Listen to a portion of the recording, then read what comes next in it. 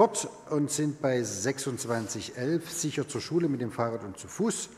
Ein, ähm, ein Antrag, der interfraktionell gestellt worden ist. Und da gilt die Frage, wer ihn uns einbringen möchte. Frau Kaspari, bitte schön.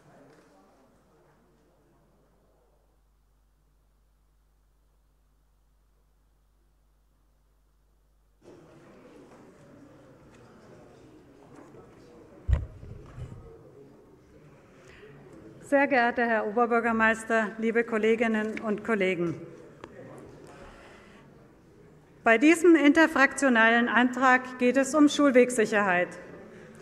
Und auch dieser Antrag hat zwei Teile. Der erste Teil betrifft Schulwegsicherheit bei zu Fuß gehenden Kindern. Ich glaube, wir alle kennen die Situation morgens vor den Schulen entweder weil wir mal vorbeigekommen sind oder Kinder abgegeben haben oder aus der Presse. Elterntaxis halten vor vielen Schulen in zweiter und dritter Reihe. Es ist ziemlich chaotisch. Dazwischen queren die kleinen Grundschulkinder, die zwischen den großen Autos nicht gut sichtbar sind. Und wenn doch mal ein Auto rückwärts fährt, kann es sehr schnell sehr, sehr schlimme Konsequenzen haben. Die Polizei hat angefangen, immer mehr zu kontrollieren zu Schuljahresbeginn. Und gerade dieses Jahr haben sie festgestellt, dass es sehr viele gefährliche Situationen gab für die Schulkinder und deswegen großer Handlungsbedarf besteht. Wir schlagen mit diesem Antrag eine mögliche Lösung vor. Und zwar an geeigneten Grundschulstandorten könnten Elternhaltestellen eingeführt werden. Elternhaltestellen sind Kurzzeitparkplätze, man darf dort kurz parken in ungefähr 250 Meter Entfernung zur Schule und von dort bis zur Schule kann das Kind zu Fuß gehen. Der Weg muss natürlich sicher sein. Solche Elternhaltestellen können eingeführt werden, wenn die Schulgemeinschaft damit einverstanden ist und sich beteiligt. Und das Ganze ist immer verbunden mit einem Halteverbot direkt vor der Schule. Vor der Schule wird dann überhaupt nicht gehalten in dieser Zeit.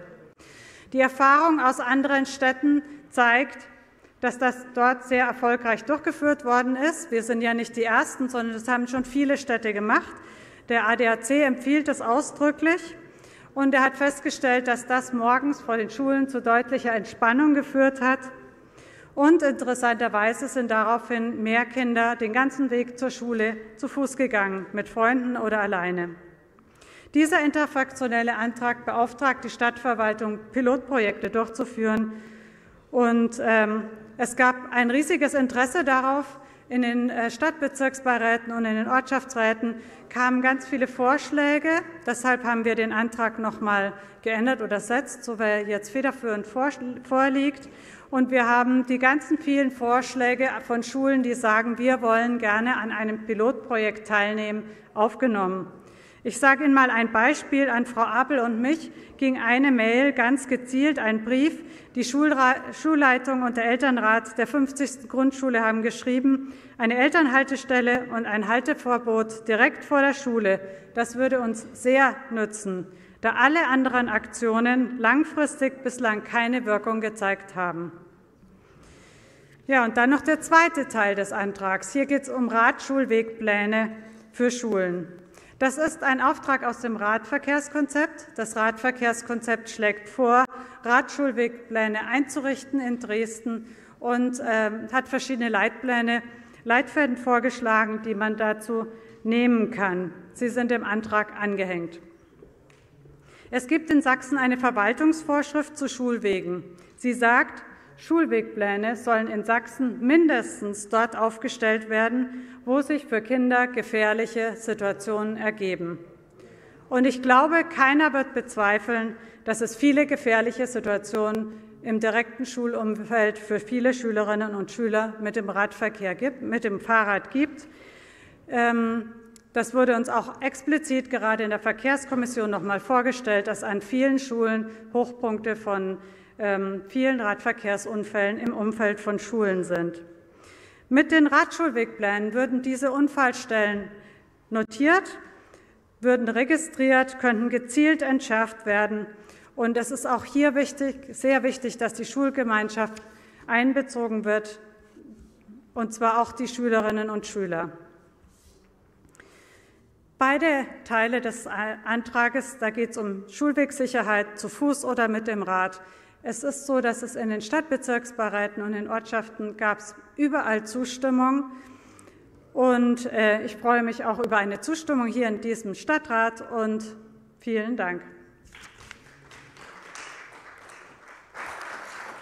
Ich würde mal auf die Fraktionsrunde verzichten, wenn Sie einverstanden sind, weil mir sind zwei Wortmeldungen nur und eine bei Bedarf gemeldet. Ich würde einfach von oben nach unten mal durchgehen. Herr Breuer, bitte schön, und dann Herr Dietze.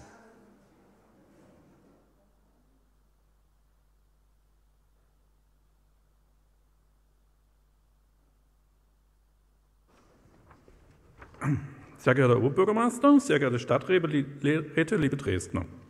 Sicher zur Schule mit dem Fahrrad oder zu Fuß, ein schöner Titel. Wer kann da schon was dagegen haben? Nö, prinzipiell unterstützen wir dieses Vorhaben. Allerdings sind nicht alle Punkte sinnvoll bzw. stringent. Deshalb beantrage ich hiermit punktweise Abstimmung. Punkt 1 können wir durchaus unsere Zustimmung geben. Die gegenwärtige Situation ist an einigen Schulen, besonders am frühen Morgen, nicht tragbar.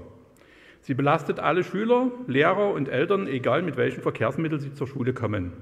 Schließlich parkt niemand aus Lust oder Laune in zweiter oder dritter Reihe. Eine Lösung zu finden für Eltern, die ihre Kinder mit dem privaten Kraftfahrzeug zur Schule bringen, findet unsere Zustimmung.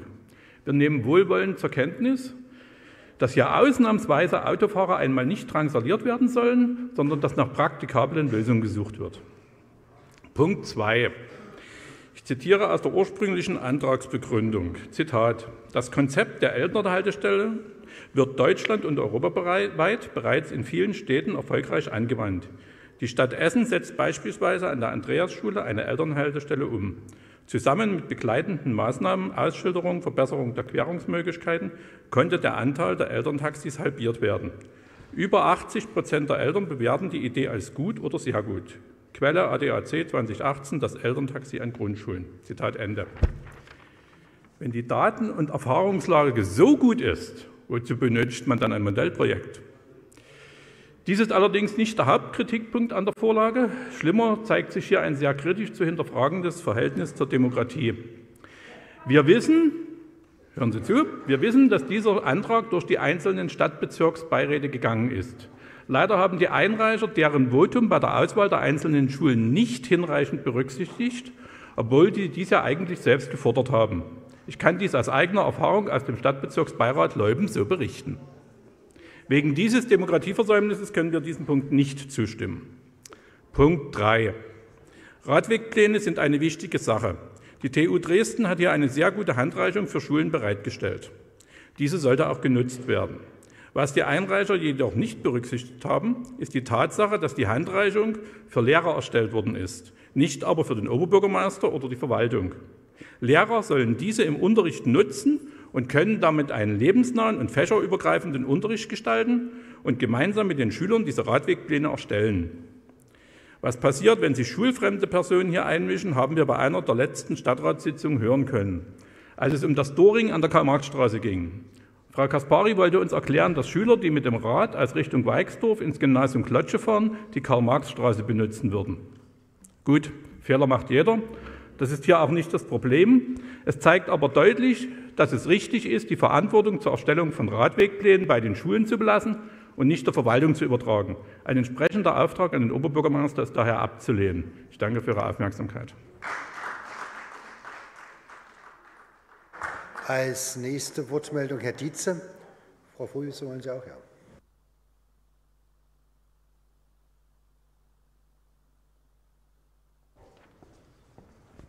Sehr geehrter Oberbürgermeister, sehr geehrte Damen und Herren, die sogenannten Elterntaxis sind verlässliche Aufregerthemen an allen Schulen. Äh, ich kann das an meiner auch jeden Morgen auch beobachten. Der Begriff Wuling ist da noch nett. Die unmittelbar vor den Eingang haltenden Fahrzeuge tragen wesentlich dazu bei. Äh, dabei sind die Gründe der Eltern, ihre Kinder mit dem Pkw zur Schule zu bringen, nachvollziehbar, gerade in Stadtrandlage. Außerdem ist da auch nicht die unberechtigte Angst der Eltern vor den Gefahren, die der Schulweg birgt. Es besteht also der berechtigte Wunsch, die Kinder nicht nur per Fahrrad oder zu Fuß, sicher zur Schule kommen zu lassen, sondern auch mit dem Auto, was im Endeffekt zu dieser Situation führt, die ich Wuling nannte. Der Antrag möchte jetzt pilothaft Abhilfe schaffen, indem er eine Entfernung von bis zu 250 Metern Elternhaltestellen schafft, während der Raum unmittelbar vor der Schule mit Halteverbot freigehalten werden soll. Die Stadtbezirksbeiräte haben dafür konkrete Vorschläge unterbreitet, die im Antrag aufgenommen wurden. Das ist sinnvoll und dem werden wir folgen. Im Punkt 3 des Antrags soll dann noch Schulwegpläne erstellt werden, damit die Schüler sicher mit dem Fahrrad zur Schule kommen. Auch dagegen ist grundsätzlich nichts einzuwenden. Dennoch stößt mir eine Sache bei dem Antrag auf. Damit die Dresdner Kinder sicher zur Schule kommen, bedarf es eben mehr als neue Schilder. Dafür müssen in erster Linie infrastrukturelle, infrastrukturelle Maßnahmen durchgeführt werden. Und ich möchte hier einen Hinweis der CDU äh, Loschwitz aufnehmen, die seit Jahren auf die mangelhafte Schulwegsicherheit hinweist. Auf Straßen, die unmittelbar Schulweg vieler Kinder sind, fehlen schlicht Fußwege. Dazu gehört die Tennisstraße, die Rochwitzer Straße und die Hutbergstraße. Bisher wusste der GB4 mit seinem Bürgermeister diese Problemlage zu ignorieren. Sicher, weil dies mit erheblichen Kosten verbunden ist. Das würde aber tatsächlich zu spürbar mehr Sicherheit auf den Schulwegen führen, insbesondere zu Fuß und mit dem Fahrrad. Danke. So, als nächstes Frau Frohwieser und dann hatte sich Herr Lichti gemeldet. Sehr geehrter Herr Oberbürgermeister, liebe Kolleginnen und Kollegen, in der Sache haben äh, die Kolleginnen Kaspari und äh, Dietze gerade schon alles gesagt, aber ich glaube, diesen Blödsinn der AfD-Fraktion muss man hier schon auch noch mal widersprechen. Vielleicht schauen Sie sich das Stadtbezirksbeiratsvotum von Leuben noch mal an. Vielleicht haben Sie es nicht kontrolliert, wenn es da einen Beschluss gab, dass da irgendein Vorschlag drin stand. Er steht jedenfalls nicht drin. Und selbst wenn es einen gegeben haben sollte und dort ein Fehler gewesen wäre, hätten Sie das gerne auch noch in die Beratung mit einbringen können. Und in dieser Hinsicht, das ist ja ein gemeinsamer Antrag von Grünen, Linken und SPD, möchte ich mich ausdrücklich auch noch mal bei der CDU-Fraktion bedanken, die tatsächlich nach dieser langen, langen, langen Reihe durch die Stadtbezirksbeiräte und die wirklich sehr positiven Beratungen in den Stadtbezirksbeiräten, mit vielen Anregungen, mit uns gemeinsam diese vielen, vielen Anregungen und auch weitere Anregungen, die von Bürgerinnen und Bürgern durch die Presseberichterstattung gekommen sind, in diesem Antrag aufgenommen haben. Die einzigen, die in diesen ganzen langen Beratungen keinen konkreten Änderungsantrag mit einem weiteren dort augenscheinlich fehlenden Vorschlag, ich kenne ihn nicht, weil es steht weder im Votum noch ist er vorgetragen worden, ist die AfD-Fraktion. Vielen Dank. Und jetzt Herr Lichti. Hallo, ja, vielen Dank, äh, Herr Obergemeister, sehr geehrte Kolleginnen und Kollegen. Äh, ich kann natürlich das Anliegen von sicheren Schulweg äh, zu sorgen voll inhaltlich unterstützen. Allerdings bin ich schon sehr erstaunt und ich finde es auch, man muss es ablehnen. Dem Punkt 1, im Grunde die Art, die Legalisierung, das Schönreden des Wulings, wie es Herr Dietze genannt hat, indem man jetzt sogenannte Elternhaltestellen äh, einrichtet. Das kann nicht die Lösung sein. Und äh, wenn ich dann höre, dass das Ganze auf einer ADAC-Studie beruht, wo es dann in dem Fall Essen zu diesen positiven Ereignissen oder zu diesen positiven Wirkungen gekommen sein soll, bitteschön. Aber immerhin ist der ADAC ein Autolobbyverband, wenn ich mich recht erinnere. Und dass der zu ähnlichen Ergebnissen kommt, ist, glaube ich, unmittelbar nachvollziehbar. Eigentlich sollte den Einreichern auch äh, zu denken geben, dass hier ein Vertreter der AfD-Fraktion genau diesen Punkt sehr positiv äh, bewertet hat. Ähm, es geht hier darum, dass man diesen unerträglichen Zustand äh, der Elterntaxis äh, mit den erheblichen Gefahren, den man hier ja im weiten Umfang duldet, jetzt über diese äh, vermeintlichen Ausweg der Elternhaltestelle in 52 Meter Entfernung legalisieren möchte, schönreden möchte. Ich finde das unerhört. Ich finde das wirklich unerhört. Ähm, es müsste in die Richtung gehen, wie es der Herr Dietz auch gesagt hat. Der Schulweg müsste sicher gemacht werden. Äh, auch das Thema Rochlitzer Straße haben wir, glaube ich, auch schon öfters gehört. Ähm, aber jetzt dieses Problem damit praktisch zu lösen, zu erschlagen und eine Lösung zu simulieren, indem man das jetzt auch noch legalisiert und noch als großen Fortschritt sagt, das leuchtet mir überhaupt nicht ein. Also ich sage nochmal, ich habe jetzt hier für meine Person gesprochen. Ähm, ich werde dem nicht zustimmen können. So, weitere Wortmeldung für das ähm, Frau Abel zunächst und dann Herr Böhm.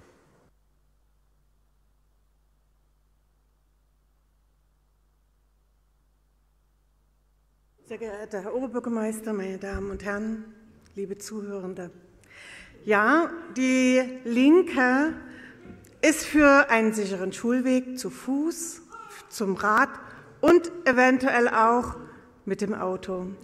Ich kann das nicht verstehen, dass man das so direkt ablehnt, dass es Elternhaltestellen gibt, weil ich denke, dass unser Schulsystem so aufgebaut ist, dass doch einige Schülerinnen und Schüler, und der Kollege von der CDU hat es ja gesagt, weite Anfahrtswege in Kauf nehmen müssen, damit sie an eine Schule kommen, die ihrem Profil, ihrem Bedürfnis entspricht. Natürlich wäre es wünschenswert und vielleicht auch angenehmer, mit den öffentlichen Verkehrsmitteln immer zu kommen. Das ist schwierig. Auch an meiner Schule gibt es einige Familien, die von weit hinter dem Fernsehturm kommen, die aus der sächsischen Schweiz kommen. Und natürlich ist deren Anfahrtsweg gigantisch. Und Eltern, die zur Arbeit fahren, nehmen ihr Kind mit. Ich halte das für eine Möglichkeit, Elterntaxi-Haltestellen dann anzubieten, um das Ganze vernünftig zu regulieren. Meine Hoffnung besteht darin, dass Eltern, die ihr Kind nur ein kurzes Stück bringen, jetzt aber in 250, 300 Meter Entfernung parken müssen, mitbekommen, ach, ihre Kinder schaffen einen Weg von 300 Meter, vielleicht schaffen sie den auch von 1500 Metern. Also ich glaube, auch diese Prozesse gibt es, denn eigentlich gerade jüngeren Schülern macht es Spaß, mit ihren Freundinnen, mit ihren Freunden gemeinsam zur Schule zu gehen und dabei noch so einiges zu erzählen und zu erleben. Wir möchten uns wirklich bedanken für die konstruktive Zusammenarbeit, auch für die gründliche Vorarbeit von Frau Kaspari zu diesem Antrag. Aber er hat ganz schön lange gedauert. Also ich weiß nicht, ob wir nicht Wert genug darauf legen. Ich weiß nicht, wie viel Mal das vertagt worden ist äh, im Bauausschuss. Es ist nie vorgekommen, vorangekommen. Also wir haben uns für diese Rede, Frau Kaspari sagte das ja so oft vorbereitet, weil wir einfach nie diesen Antrag hier bis zum Stadtrat bekommen haben. Vielleicht sollten wir schauen, dass uns solche Dinge nicht immer wieder passieren, dass wir es schneller durchziehen. Vielleicht ist damit mit den Doppelsitzungen äh, des Bauausschusses damit auch ein erster Schritt getan. Wir freuen uns über die breite Zustimmung zu diesem Antrag, dass wir mehr für die Sicherheit unserer Kinder auf den Straßen hier in Dresden tun. Danke. So, jetzt hatte sich als nächstes Herr Böhm gemeldet, verzichtet. Dann äh, Herr Breuer. Ja, ich möchte noch ganz kurz auf zwei Anschuldigungen von der Frau Frohwieser eingehen. Die erste mag ja auf einem Missverständnis beruhen. Äh, Sie haben recht, der Stadtbezirksbeirat Leuben hat keine Vorschläge gemacht. Aber in der Vorlage stand eine Schule aus Leuben und die hat der Stadtbezirksbeirat rausgestrichen und das haben sie nicht berücksichtigt. Und deshalb, das hatte ich äh, be bemängelt. Und das Zweite, das ist an Unverschämtheit und Dreistigkeit eigentlich kaum noch zu überbieten. Sie können ruhig zuhören. Äh, die gesamte linksgrüne Seite hat sich eindeutig interessant, ne, Frau Filiosiene, Sie haben es an Ihrer eigenen äh, Webseite stehen, hat sich eindeutig dazu positioniert, AfD-Anträge, egal vom Inhalt, egal was sie sind, auch wenn sie völlig unpolitisch oder irgendwas sind, grundsätzlich abzulehnen. Halten Sie den Mund da hinten. Das ist Ihre Position. Und dann kommen Sie mit der Dreistigkeit zu verlangen, dass ich Ihren Antrag in irgendeiner Weise qualifiziere. Verste ver ver, vergessen Sie es. Vergessen Sie es einfach, bitte. So, das hat erstmal die Rednerliste abarbeiten lassen. Und ähm, gibt es noch den Bedarf auf ein Schlusswort? Sehe ich nicht, dann machen wir lieber schnell das Thema abbinden und kommen zur Abstimmung. Das ist punktweise beantragt. Also ich würde jeweilig den äh, federführenden Ausschussbericht in den Punkten 1, 2 und 3 ähm, zur Abstimmung ähm, stellen. Wer für den Punkt 1 des federführenden Ausschussberichts ist, den bitte ich jetzt um das Stimmzeichen.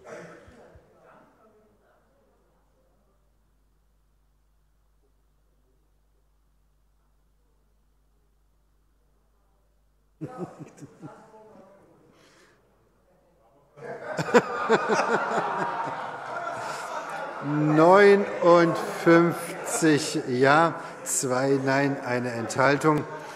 Ähm, mal gucken, wie die Allianzen sich fortsetzen. Ähm, wir kommen zum Punkt 2. Wer dem zustimmen möchte, das wieder für den Ausschussbericht, den bitte ich jetzt um Stimmzeichen.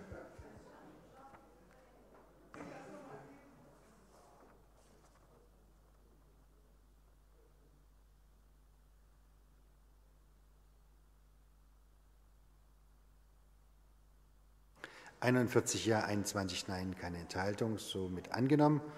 Und last but not least ähm, Punkt 3. Wer hier zustimmen möchte, den bitte ich jetzt um Stimmzeichen.